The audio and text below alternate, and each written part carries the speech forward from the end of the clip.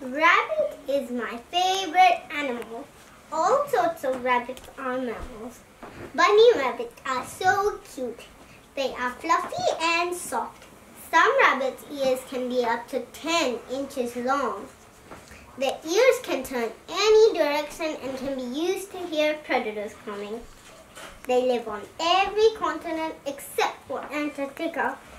They live in little tunnels and holes in the ground called burrows.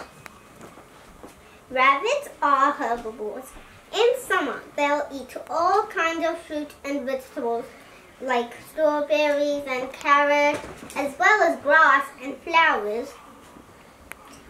In wintertime, when there are less fruits and veggies, they can also eat branches and tree bark. Baby rabbits stay with their moms for only two weeks, and then they are able to live on their own.